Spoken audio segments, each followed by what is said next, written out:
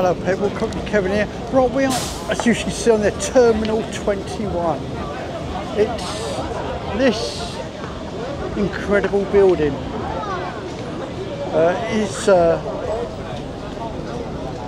goes on basically as you're going through control customs and all that. You go through this. You've got Tokyo, London, Paris, and all that. What I'm going to do is I'm, I'll go around a little bit.